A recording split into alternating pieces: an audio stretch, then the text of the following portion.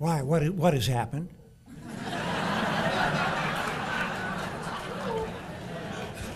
I mean, you know they would never hire a big eared politician from Illinois.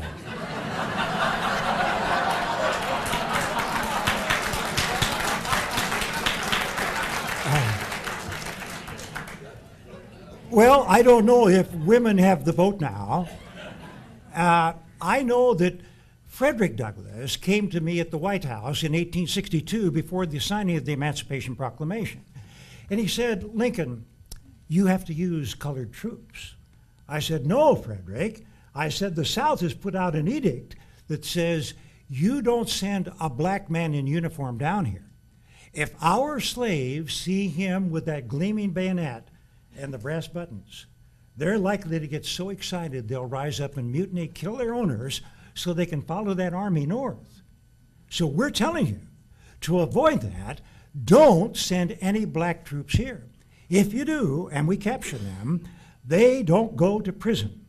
They go to the firing squad or they go to the depths of the Gulf where they'll be put in slavery and you'll never see them again. So I said, I don't want to do it, Frederick. He said, Well, Mr. Lincoln, when did the African slave trade end? I said, 1808.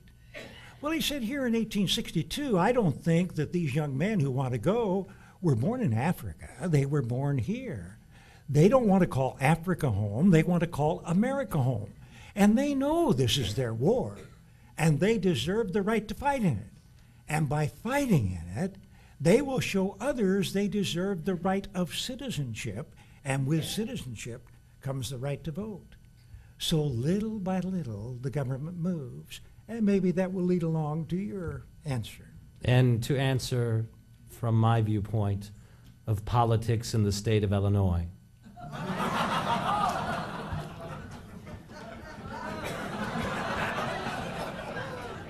As a proud Illinois politician, I am embarrassed. But most of all, I have much better hair than the former governor.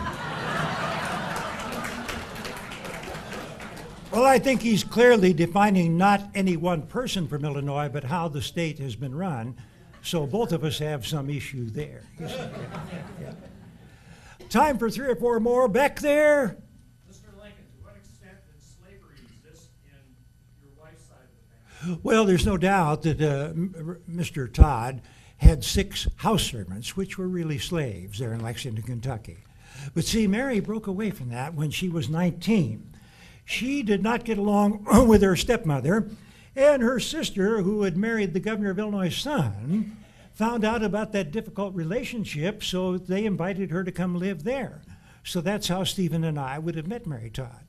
But the idea is she had broken away from slavery and saw how dehumanizing it was. So she didn't line up on the camp of, of slavery protection at all. Mr. Douglas, I think you were born in Vermont, isn't that right? That is Brandon, Vermont. How come you came to Illinois? Andrew Jackson. After my father passed away, I didn't feel wanted in the East, and I knew I needed to move on. And I ended up in Jacksonville, Illinois. I was an itinerant teacher. I did anything. I built cabinets, built bureaus, and got into government. Uh, right here. Many uh, people at the start of the Civil War thought it was going to be a relatively short conflict. and including me. You thought that as well. And uh, what were some of the ways you attempted to raise morale as that went along when people were very frustrated by how long this was going? Well, the length of the war surprised so many people. 31 million people in the country, 20 million in the north, 11 in the south, and all the industry really in the north. But it was the leadership on the field of battle that was making the war prolonged. So after Fort Sumter was fired on, I called for 75,000 troops. But then we saw the leadership of Robert E. Lee and Stonewall Jackson at a little place right outside of Washington City called Manassas. And we knew it was going to be a longer war. And as you called for more troops, 300,000 at a time, the glamour of it all wore off. And where the enlistments were so great at the beginning, the camps were overflowing.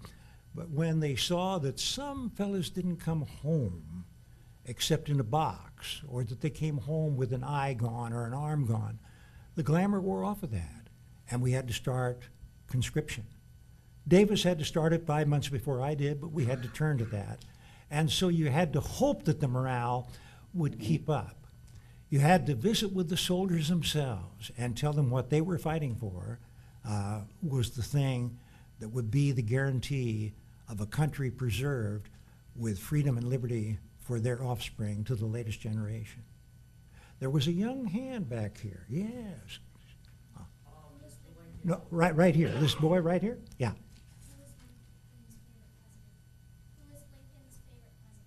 Who was my favorite president? I would think Washington beyond a doubt.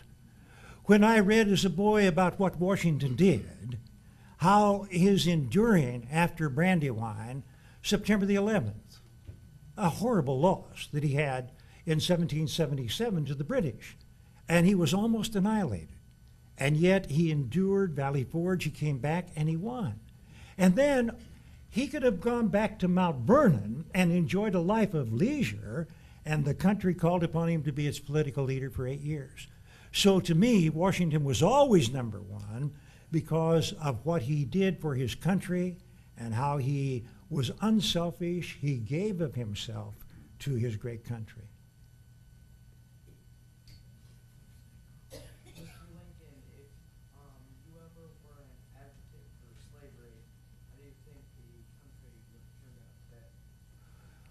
Oh, if I would have been an advocate for slavery, I could have probably masked being an advocate for slavery when in 1850 this man proposed slavery expansion by bringing it into the territories, what he called popular sovereignty.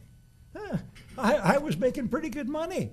I was a lawyer. I was held on retainer by the Illinois Central Railroad. I could have kept right in my office. But it's what tells you that there is right and wrong. And we were about to extend a wrong. So that drew me out of my office. So in reality, we know how much I hated it and how much I knew that we could only work at it within the confines of the Constitution. This upset a lot of people, a lot of abolitionists. They thought I wasn't quick enough. But I, if I had been an advocate of slavery, I never would have had to expose it. He would have taken care of that for me because all I would have had to do when a bad thing came along was sit and say nothing and let it get large. I see over O- here. Over, over there? Yes. Mr. Douglas, uh, since there- you were advocating slavery in slavery states, did you and your family have slave owners in your family? And uh, did that um, facilitate you in in defending them? I will say my first wife, Martha, we received as a wedding gift a plantation, and it was put in her name. I then, when my wife Martha died early, uh, childbirth with our third child, and I remarried to Adele, uh, a a plantation was put in Adele's name. There were plantations that I stayed away from, however, they were in our family name, but never with my name on the deed.